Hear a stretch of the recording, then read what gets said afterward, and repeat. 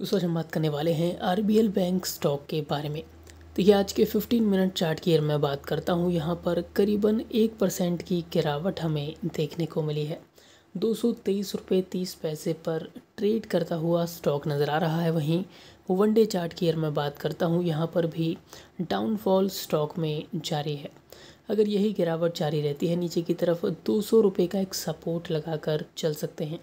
इस सपोर्ट का पूरा ध्यान रखना है। अगर इसको भी ब्रेक करके स्टॉक नीचे जाता है और निचले लेवल्स दिखा सकता है। लेकिन यहाँ पर अगर आप फ्रेश बाइंग करना चाहते हैं, अभी अवॉइड करना है, वेट एंड वॉच की स्ट्रेटजी अपनाकर चल सकते हैं। जैसे ही बाइंग का मौका बनता है, हम एक वीडियो ज़रूर बनाएँगे। तो यही स्ट्रेटजी अपनानी है आरबीएल बैंक में।